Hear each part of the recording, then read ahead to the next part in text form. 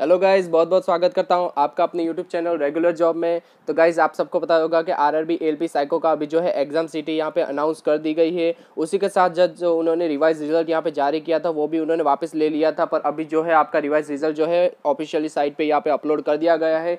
तो आज हम उसी के बारे में बात करेंगे कि आपको किस तरह से अपना एडमिट कार्ड यहाँ पे डाउनलोड करना है एज वेल एज आपको अपनी एग्ज़ाम सिटी किस तरह से देखनी है, आज हम उसी के बारे में बात करेंगे।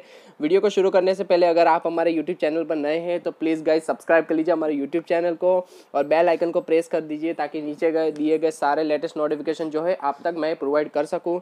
तो गैस चलिए इस वीडियो को शुरू करते हैं। तो गाइज़ यहाँ पे सबसे पहले हम जैसे ही यहाँ पे आपको मैं नीचे लिंक प्रोवाइड कर दूँगा, वहाँ से जो है आपको लॉगिन कर लेना है अपना। तो यहाँ पे सबसे पहले आपको क्या करना होगा, यहाँ पे जो है सबसे पहले आपको जो है अपना यूज़र आईडी जो है आपका रजिस्ट्रेशन नंबर था गाइज़ वो आपको यहाँ पे यहाँ पे टाइप कर लेना है। उसके बाद आपको जो है आपकी डेट ऑफ़ बर्थ जो है यहाँ पे प्रोवाइड करके यहाँ पे लॉगिन पे क्लिक कर देना है। जैसे ही गाइज़ आप लॉगिन पे क्लिक करेंगे यहाँ पे तो आपके सामने किस, इस तरह से एक विंडो यहाँ पे ओपन होके आ जाएगी, जिसमें आपका लिखा होगा सिटी सिटी इन्फॉर्मेशन आपको ही होगी। दूसरा आपका स्कोर कार्ड का पार्ट ए होगा और सेकंड होगा आपका स्कोर कार्ड का पार्ट बी तो आप जैसे ही यहाँ पे सिटी इन्फॉर्मेशन स्लिप पे यहाँ पे क्लिक करेंगे गाइस तो आपके सामने कुछ इस तरह से का पेज आपका खुल के आ जाएगा, जिसमें सबसे पहले जो है आपकी यहाँ पे ऊपर जो है आपकी एग्ज़ाम सिटी यहाँ पे आपको प्रोवाइड कर दी जाएगी। जैसे कि यहाँ पे देख सकते हैं, इनका इंदौर यहाँ पे प्रोवाइड किया गया, आपका राज्य जो भी होगा, वो मध्य प्रदेश, उसके बाद जो है आपकी एग्ज़ाम की लैंग्वेज जो थी, जो जैसे कि यहाँ पे इंग्लिश है, यहाँ पे उसके बाद जो है, यहाँ पे परीक्षा की तारीख आप देख सकते हैं। टेन में जो है, उन परीक्षा की तारीख है। शिफ्ट जो है, यहाँ पे थर्ड शिफ्ट है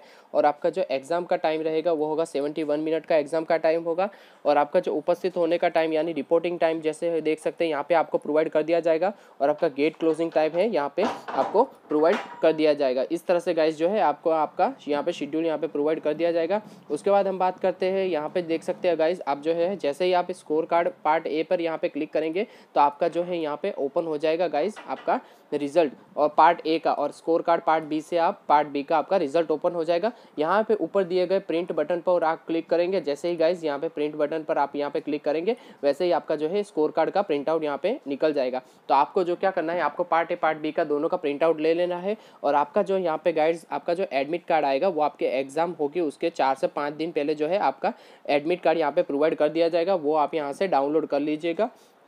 और उसी के लेकर आपको जो है आपको साइको का एग्ज़ाम देने जाना है। तो आई होप गाइज़ वीडियो आपको पसंद आया होगा। अगर वीडियो पसंद आया तो प्लीज़ गाइज़ उसे लाइक कर दीजिए शेयर कर दीजिए और अगर आप हमारे यूट्यूब चैनल पर नए तो सब्सक्राइब कर लीजिए हमारे यूट्यूब चैनल को। मिलते अगले वीडियो में दोस्तों। जय हिंद, जय भारत।